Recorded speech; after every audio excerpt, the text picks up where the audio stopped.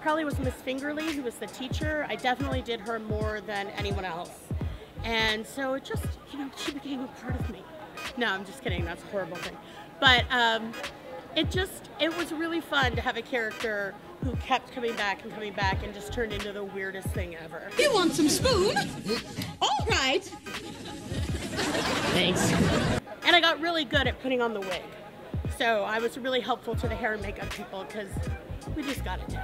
One of my favorite character playing on the show, uh, Coach Cretin, man.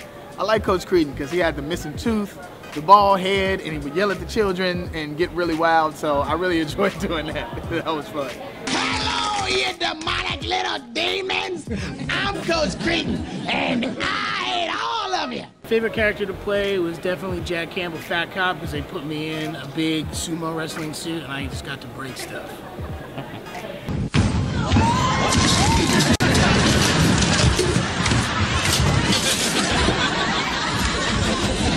Um, excuse me?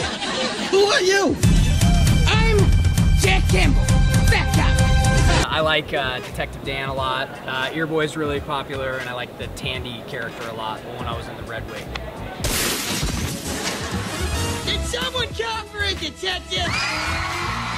A favorite skit? Uh, of course, Good Burger, man. I mean, you got to go with that. I always enjoyed Good Burger. Turned into a movie, man. So uh, just excited about that. That was fun. Welcome to Good Burger, home of the Good Burger. Can I take your order?